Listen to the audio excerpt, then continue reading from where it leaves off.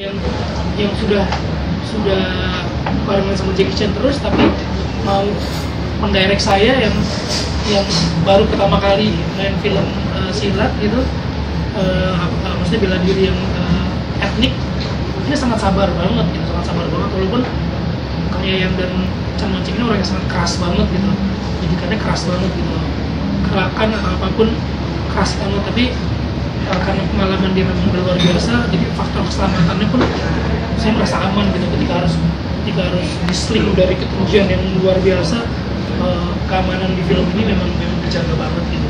Dan jadi buat saya uh, kita saling belajar uh, action Korea di Indonesia sama yang biasa menangani uh, di Hollywood ataupun di Hong Kong saling saling belajar gitu dan mancing belajar uh, filosofi dari silat sendiri dari tim di sini. Kita sendiri belajar gimana caranya meng, apa ya mengefektifkan uh, shot-shot untuk untuk sebuah film action. Jadi memang uh, timnya solid banget.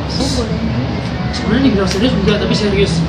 Jadi justru ketika ketika saya ngelakuin adegan-adegan yang berbahaya malah malah saya nggak mengalami cedera gitu.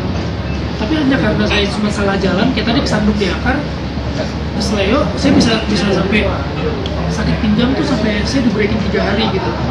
Dan dan ketika kan karena gimana sih lagi ada lagi fight masanya action tiba-tiba pas semangatnya udah segini tiba-tiba cedera untuk hal yang nggak penting gitu. Cuman karena jalan keselio gitu tapi saya pulang urut dan ternyata kata saya bandel aja saya urut gitu. Ternyata semua pada wah nggak boleh diurut kalau ini pinggang tuh syaraf tuh nggak boleh diurut gitu harus benar-benar yang diterapi uh, apa namanya uh, dipanasin gitu. Rendam ke air es air panas air es ini karena nggak bisa diurut gitu takutnya. Tapi karena karena semangatnya udah terlalu menggebu-gebu akhirnya malah fatal gitu akhirnya tadinya saya pikir diurut sehari besok bisa sembuh lagi ternyata bisa sampai tiga hari. Jadi otomatis ya teman-teman produksi yang kesulitan harus mengubah schedule lagi. Uh, fightingnya fighting yang harus saya lakukan dilongkap gitu.